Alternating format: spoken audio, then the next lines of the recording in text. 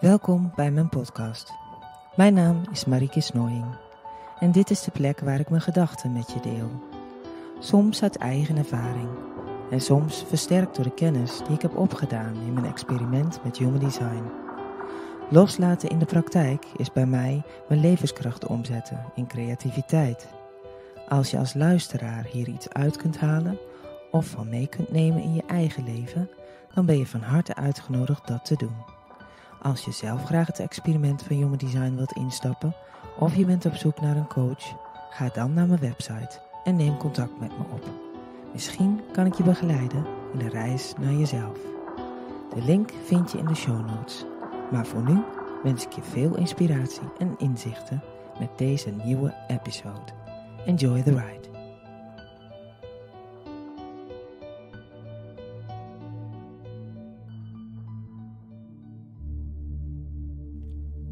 Just because you can doesn't mean you should.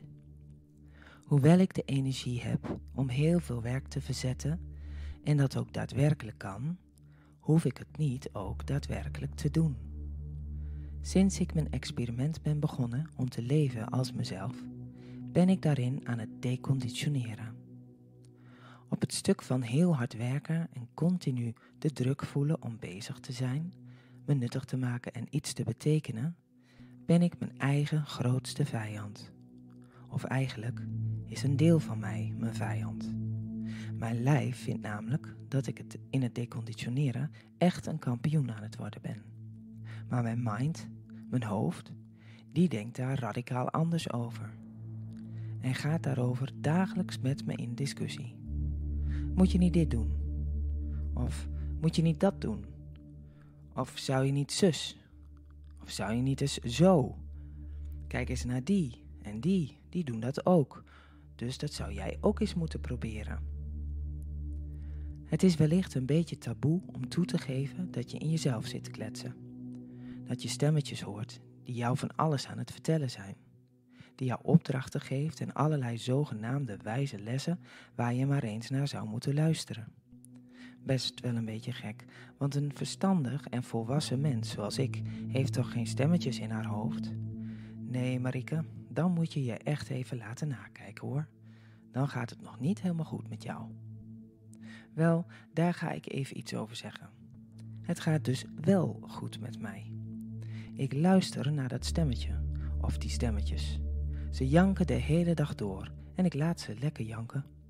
Want zolang mijn lichaam niet de energie voelt of de drang om ergens op te reageren, zijn het stemmetjes die me proberen te misleiden en me in mijn oude patroon terug proberen te drukken. En dat is nou net iets waar ik niet op zit te wachten. De stemmetjes waren er altijd al. Het verschil is dat ik er nu niet meer naar luister. Ik kijk ernaar, laat ze lekker zijn en ik laat me er totaal niet mee in. Ik vind af en toe ook echt dat ze heel erg lachwekkend zijn, die stemmetjes. Mijn hoofd heeft best wel humor eigenlijk. Maar mijn hoofd heeft wel een eigen plek gekregen in mijn leven.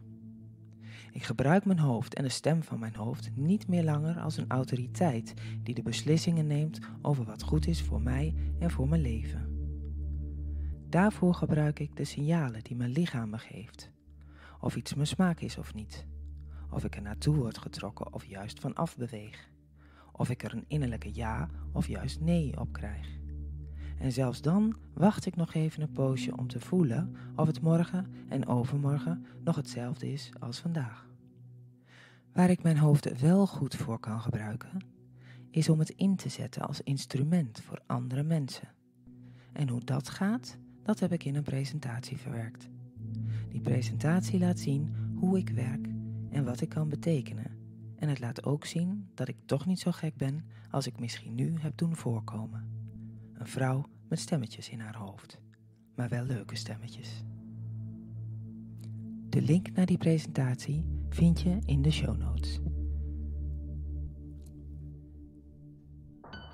Dankjewel dat je hebt geluisterd naar deze episode.